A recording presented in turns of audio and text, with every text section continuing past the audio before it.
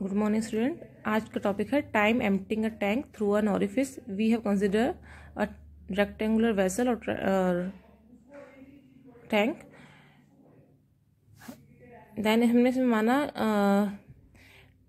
T time में जो tank खाली हो रहा है, उससे पहले का जो वाटर लेवल है, उसकी हाइट हमने मानी एच वन और टी टाइम में जो वाटर लेवल की हाइट हो गई, वो हमने मान ली एच टू देन हमें फॉर्मूला ड्राइव करने के लिए हम एक स्ट्रिप कंसिडर कर रहे हैं, जो कि डी एच हाइट की है, जो कि बॉटम से स्मॉल एच हाइट पर है। तो डिस्चार्ज थ्रू एन ऑरिफिस निकालेंगे सबसे पहले तो डी क्यू क्या हो जाएगा? D Q is equal to C D into area of the area of orifice A into V होता है डिस्चार्ज फॉर्मूला तो एरिया किसका लिखेंगे इसमें? ऑरिफिस का। Area of orifice into theoretical velocity which is under root two G H तो C D two small a into under root two G H हो जाएगा। नाउ टाइम इंटरवल हमने माना इसमें डी टी लगा है। तो जो स्मॉल डी एच हाइट की जो स्ट्रिप है, उसको खाली होने में स्मॉल डी टी टाइम अगर लगता है तो टाइम समय बराबर हो जाएगा आपका। C D into A into under root two G H into D T D T समय में इतना डिस्चार्ज अगर हो रहा है कि स्ट्रिप जो हमने मानी है, वो टी समय में आपके इंटरवल में खर्च हो रही है। Now as the volume of liquid leaving the tank is equal to volume of liquid flowing through an orifice जितना भी वॉल्यूम लीव होगा, यहाँ से छूटेगा टैंक से, उतना ही वॉल्यूम ऑरिफिस से डिस्चार्ज हो जाएगा, बाहर निकलेगा। तो हम कह सकते हैं कि जितना A into minus D H होगा मतलब तो जितना एरिया नीचे आएगा एरिया अगर हम टैंक का करें उसको वॉल्यूम निकालते हैं area into D H height से वॉल्यूम निकालें नाइन माइनस नाइन का मतलब घट रहा है, नीचे आ रहा है। तो जित, ये स्ट्रिप का एरिया वॉल्यूम हम निकाल रहे हैं तो A into minus D H जितना इसने नीचे लीव किया टैंक को छोड़ा, उतना ही डिस्चार्ज हो गया हमारे ऑरिफिस के through C D into small area of the orifice then under two G H A V into D T time में। नाउ तो हमने दोनों को इक्वल लिख सकते हैं। तो अब हमारे पास हो जाएगा minus A into D H is equals to C D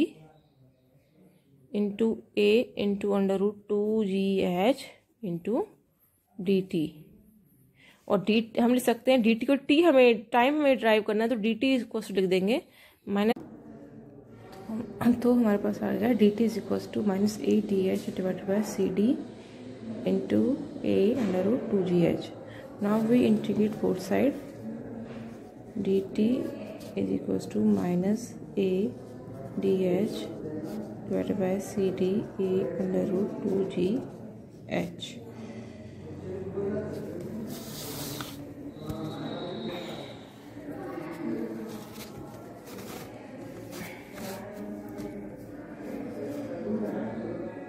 इसको इंटीग्रेट करेंगे ज़ीरो टू टी टाइम के लिए।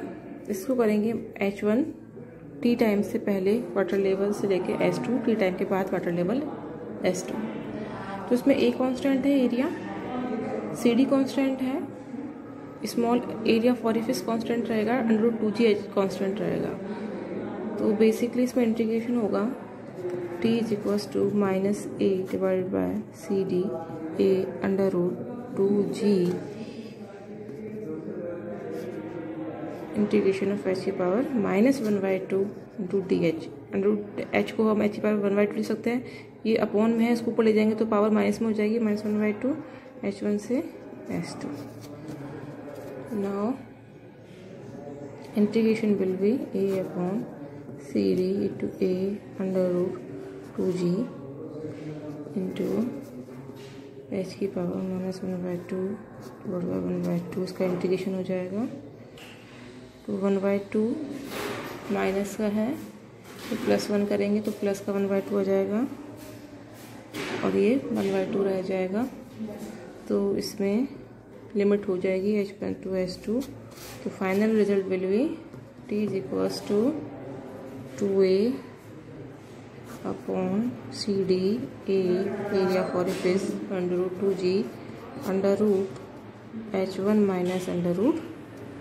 S two यदि टंकी पूरी खाली होने के लिए हम निकालेंगे माने इफ़ या if S two is equals to zero टंकी पूरी खाली हो जाए तो उसके लिए टाइम पीरियड हो जाएगा T is equals to S two की वैल्यू ज़ीरो आ जाएगी C D into A under root two G into under root H one तो ये आपके टाइम ऑफ़ एम्पेटिंग वेसल और रेक्टेंगुलर टैंक के लिए फॉर्मूला टाइप हो गया अगर जो न्यूमेरिकल इस पर आता है तो सिंपली फॉर्मूला बेस्ड न्यूमेरिकल आता है। देन एरिया जो कैपिटल ए है, वो आपके एरिया ऑफ़ स्ट्रिप है। स्मॉल ए जो है एरिया ऑफ़ ऑरिफिस है। C D coefficient of discharge into two G और जो एच वन है टी टाइम से पहले वाटर लेवल है। ठीक है तो इस इस फॉर्मूले के अकॉर्डिंग हम न्यूमेरिकल सॉल्व कर सकते हैं। Thank you